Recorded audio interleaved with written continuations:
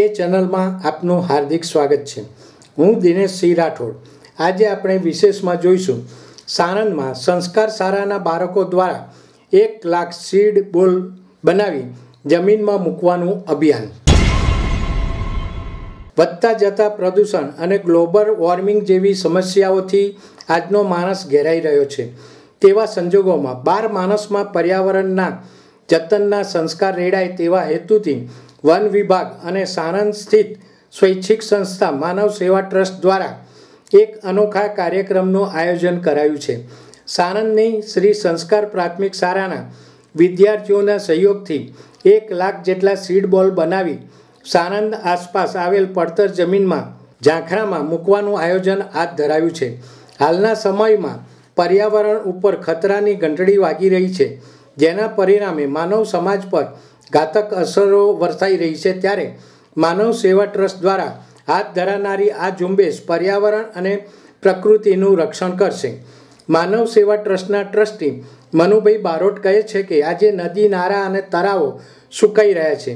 માનવને પીવાના પાણી માટે રજરપાટ કરવી પડે છે. ત્યારે ખેતી માટે તો પાણી નામશેષ જ થઈ રહ્યું છે.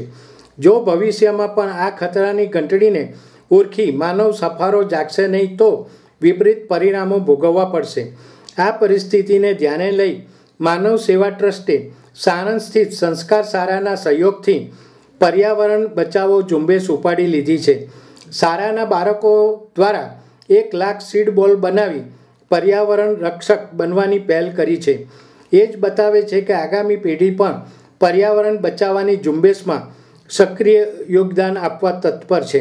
આગામી સમયમાં સાણંદના અન્ય વિસ્તારમાં પણ સીડબોલનો પ્રયોગ મોટા પાયે કરવાનું વિચારાઈ રહ્યું હોવાનું મનુભાઈ કહે છે.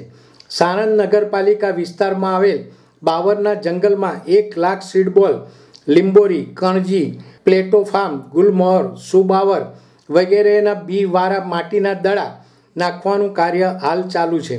કુદરતનો એવો ક્રમ છે કે જો બીજને માટી, ગરમી અને ભેજ મળી રહે તો તે આપોઆપ ભીતમાં પણ ઉગી નીકળે છે. પીપળાની જેમ ઉગી જાય છે. જો માત્ર થોડાક જ બીજ ઉગી નીકળશે, તો પણ આ બાળકોની મહેનત રંગ લાવી દેશે, એમ તેઓ કહે છે.